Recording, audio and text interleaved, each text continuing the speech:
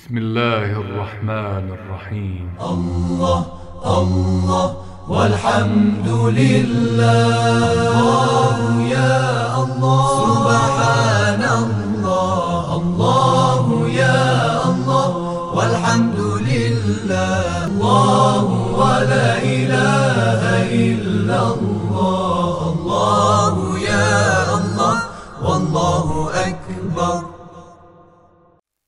بسم الله الرحمن الرحیم الحمد لله رب العالمین و صلی الله علی محمد و آله الطاهرین و لعنت الله علی اعدائهم اجمعین الى یوم الدین کتاب شریف کافی قسمت دویست و هفتاد و هفتم در باب براهین و ادله بودیم که امام برحق در مقابل امام باطل از همدیگه تشخیص داده میشن. رسیدیم به حدیث هفدهم که تا مقدارش خوندیم و مربوط به کسانی بود که از سادات بنی حسن امام مشتبه علیه السلام از فرزندان ایشون که اینها قیام انقلاب هایی می کردند بدون اذن امام معصوم و در مخالفت با امام معصوم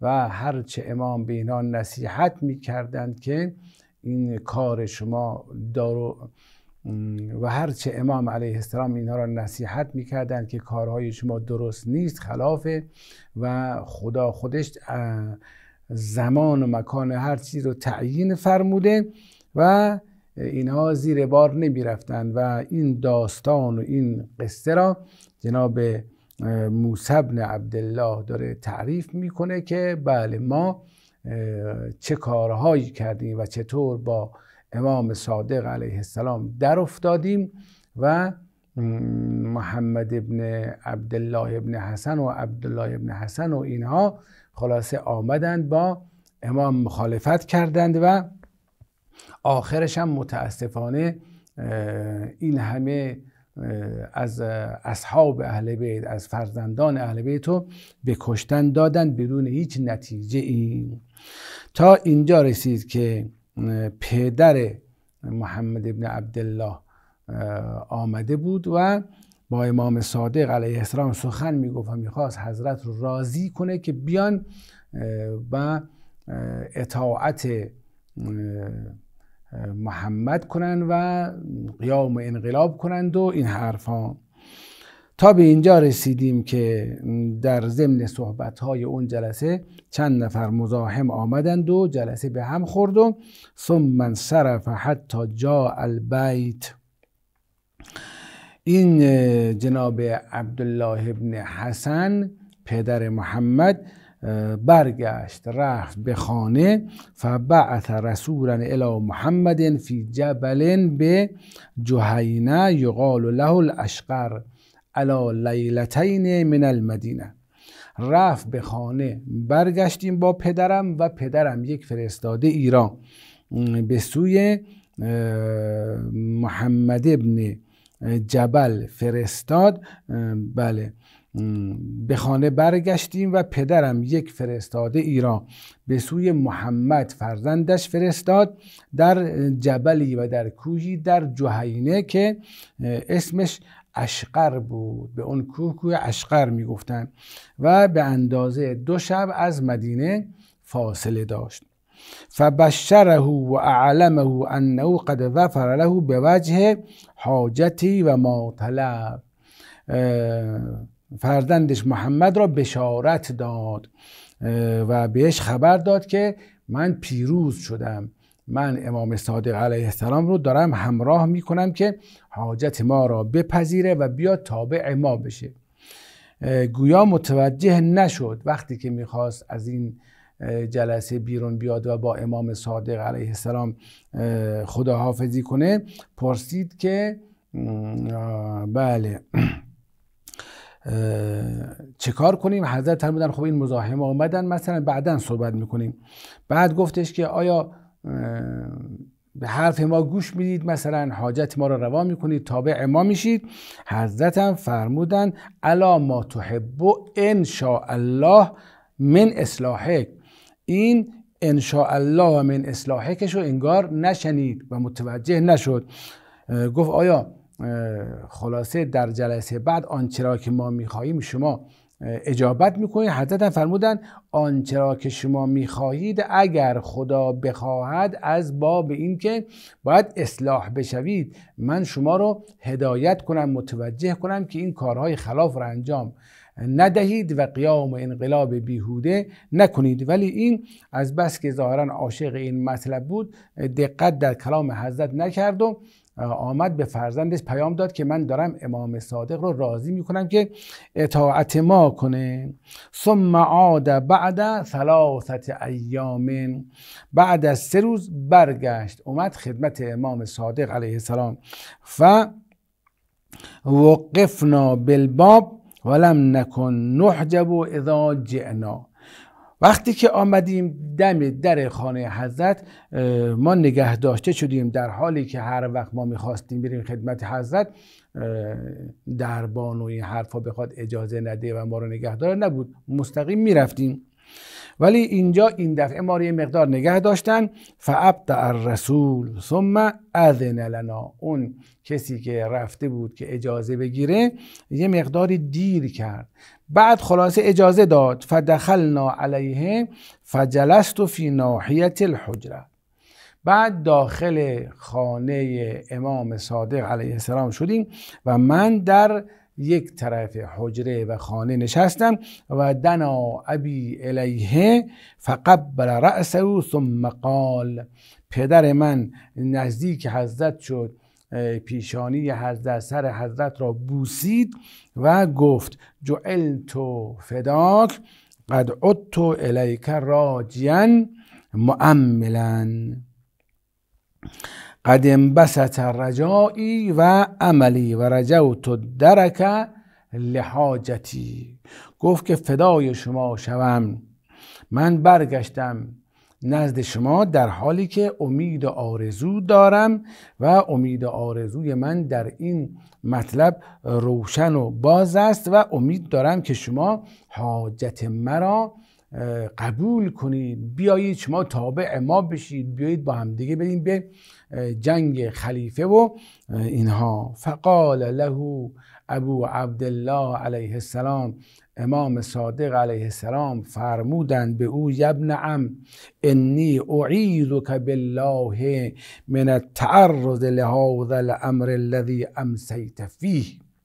فرمودند پسر امو من تو رو به خدا پناه میدم از اینکه بیایی متعرض این امری شوی که دیشب و در فکر این بودی و سخن دربارش می‌گفتیم قبلا و تو بخوای این کارها رو ادامه بدی من تو رو به خدا پناه می‌دهم. و انی لخائف علیک ایکسبک شرا.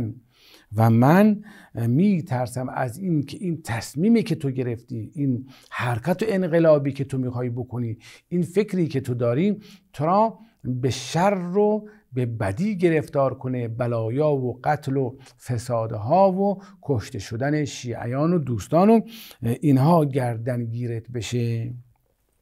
فجر الکلام بینهما حتی افضی الی ما لم یکو یرید.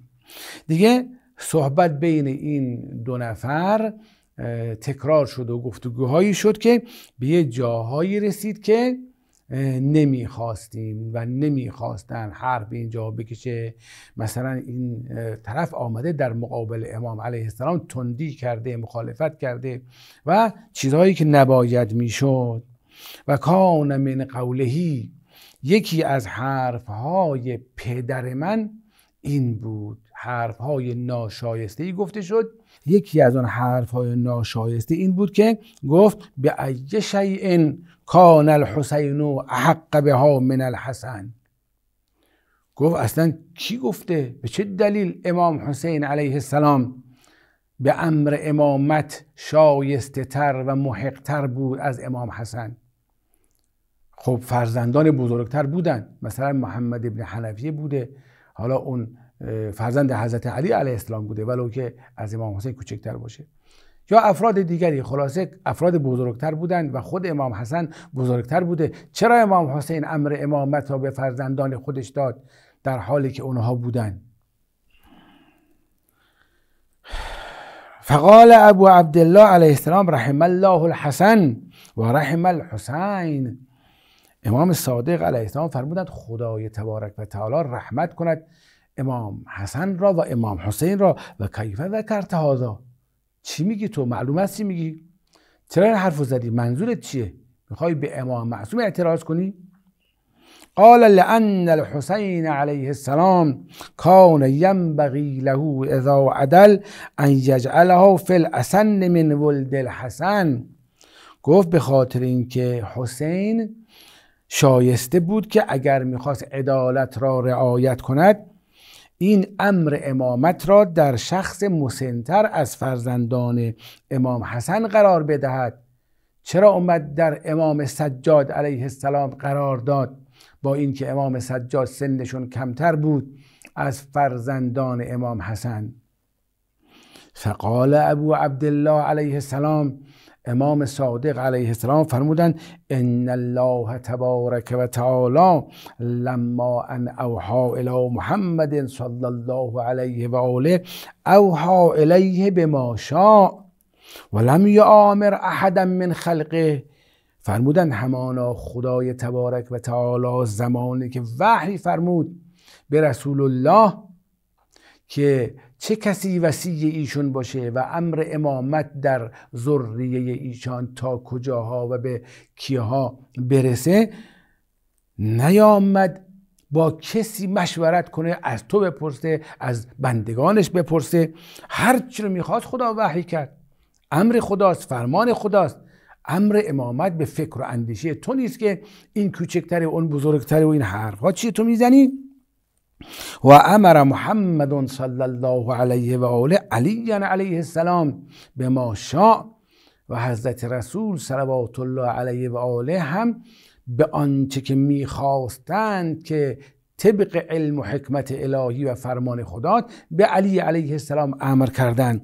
ففعل ما امر بهی و آنچه را که امر شده بودند انجام دادند. و لسنا نقول فیه الا ما قال رسول الله صلی الله علیه و آله من تبجیله و تصدیقه.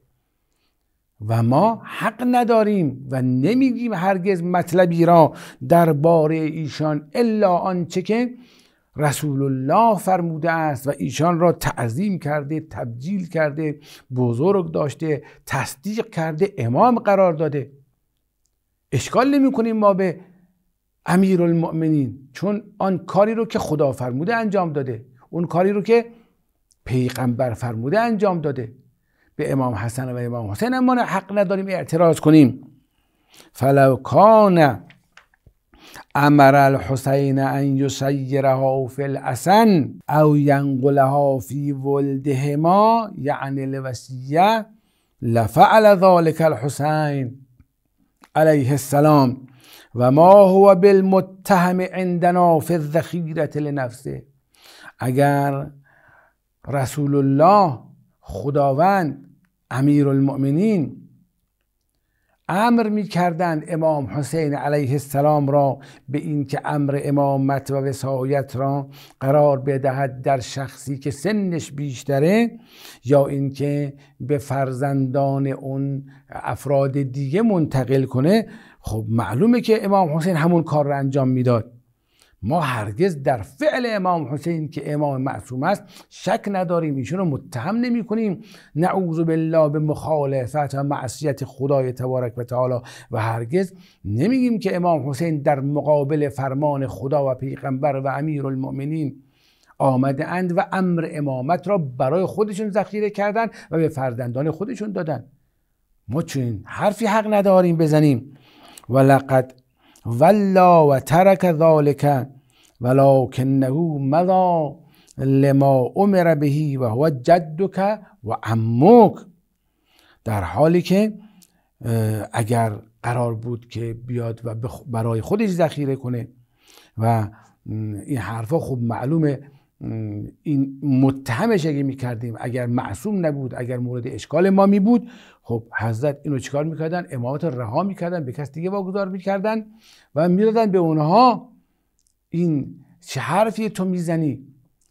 ما می‌بینیم که حضرت متهم نیستن و بعد از خودشون امام سجاد را تعیین کردن و رفتند انجام دادند همان چیزی را که به آن امر شده بودند.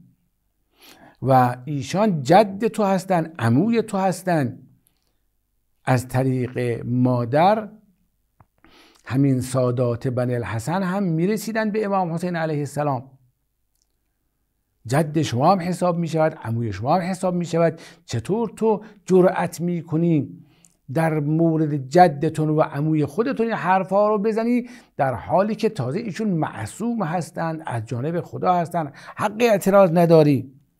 فان قلت خیرا فما اولاک به. اگر آمدی حالا امامت و اسمت رو زیر سوال می‌بری که بماند لاقل عموی خودت را جد خودت را احترامش رو داشته باش. اگر درباره عمو و جد خود حرف نیکو می‌زنی خب این اولا به این هستی. و این قلت حجرا فیغفر الله لک. ولی اگر می‌خوای هزیان بگی و درباره جدت این حرف های نامربوط رو بزنی خدا تو رو ببخشه. اطعنی ابن ام واسمع کلامی پسر عموی من. اطاعت کن از من و حرف مرا گوش کن. فوالله الذی لا اله الا هو لا آلوک نصحا و حرسا فکیف ولا اراک تفعل و ما لامر الله من مرد به خدایی که جز او معبودی نیست قسم می‌خورم که من در نصیحت و خیرخواهی و حرس برای هدایت تو هیچ کم نمی‌ذارم و کوتاهی نمی کنم ولی چه کنم؟ نمی بینم که تو اطاعت من کنی و به مسلحت خودت و صلاح خودت قدم برداری. و مال امر الله من مرد امر خدا و قضا و قدر خدای تبارک و تعالی را نمی شود کسی جا به جا کند. و اگر خدا تو را مختار قرار داده که به اختیار خودت در مقابل امام معصوم بیستی و به جد خودت امام معصوم اشکال کنی دیگه نمیشه کاری کرد. فسر ابی عند ذالک پدر من این حرف را که شنید خوشحال شد. حالا اینکه خوشحال شد چرا خوشحال شد؟ شاید مثلا این که حضرت فرمودن مال امر الله من مرد امر خدا قابل برگشت نیست. این مثلا از این کلمه برداشت کرده که خب باشه پس دیگه این قضا و قدر حتمی ما میدیم و پیروز میشیم. در حالی که حضرت اینو نفرمودن حضرت دارن بهش میگن من نمی‌بینم تو اطاعت ما بکنی. این همه نصیحتت می‌کنم این همه خیرخواهی می‌کنم تو نافرمانی می‌کنی و راه خودتون میری. علا ای حال فقال له ابو عبدالله علیه السلام اینجا بود که امام صادق علیه السلام بهش فرمودن والله انک لتعلم انه الاحول الاکشف الاخضر المقتول به اشجع عند بطن مسیلها. فرمودن به خدا قسم هر آینه تو میدانی. از کجا میدانی؟ از اینکه من دارم میگم امام معصومم. و اجداد بزرگوارمون بیان فرمودن این قضایا رو قبلا. منم که دارم برای توضیح میدم. خودت هم اگر یک مقدار فکر داشته باشی سیاست بفهمی میدانی که در مقابل این دستگاه خلافت با این همه ظلم و ستم و جاسوس و این همه قوه و نیرو که جمع کرده اند خب فرزند تو نمی‌تونه در مقابل اینها چیزی پیروزی به دست بیاره. میدانی که اون فرزند تو احول است در نگاهش درست دید نداره و موی سرش هم یک نقائصی داشته و رنگ سبز که منظور همون تیرگیه و یک آدم تیره است که خلاصه این در باب اشجع کشته خواهد شد. در اون جایی که باران و سیل و مسیل می آید در توی اون مثلا کف اون رودخانه یا اونجا این چیه؟ کشته خواهد شد. فقال ابی لیس هو ذالک والله لیحاربن بالیوم یوما و بالساعت ساعتا و بستنت سنتا و لیقومن بثار بنی ابی طالب جمیعا. گفت نه آقا حرفای شما نیست. اینجوری نیست که این شکست بخوره و کشته بشود و به خدا و قسم می جنگد در مقابل یک روز اونا یک روز و در مقابل یک ساعت اونا یک ساعت و در مقابل یک سال اونا یک سال ایستادگی می‌کنه و می جنگه و هرگز دست بر نمی داره و قیام می کند برای مطالبه خون فرزندان حضرت ابی طالب علیه السلام. همه کسانی را که از فرزندان ابو طالب مظلومانه کشته و شهید شده این خونخواهی همشون می‌کنه. فقال له ابو عبد الله علیه السلام یغفر الله لك ما اخوفنی ان یکون هذا البیت یلحق صاحبنا منتك نفسك فی الخلاء ضلالا. امام صادق علیه السلام فرمودند خدا تو را ببخشد من چقدر خوف این دارم که این بیت شعر درباره این کسی که دربارش حرف می‌زنی و فرزند تو محقق شود که آرزوهای تو تو را در تنهایی به راه های باطل و خیال پردازی ها کشاند. رفتی تنها نشستی با خودت فکر کردی شمشیری و حرکتی و جنبشی و جنگی و قیامی و پیروزی و نجات مردم و خونخواهی؟ نه عقل داری نه محاسبه داری نه فکر داری نه علم الهی داری. نه اذن امام معصوم رو ملاحظه می‌کنی نه موقعیت ها رو میسنجی. برای خودت نشستی در تنهایی خیال پردازی کرده ای لا والله ان شاء الله جلسات بعد. و صلی الله علی محمد و آل الطاهرین. و لعنت الله علی اعدائهم اجمعین الى یوم الدین. اللهم صل على محمد وآل محمد.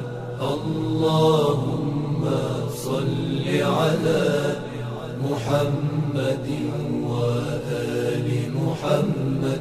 اللهم صل على محمد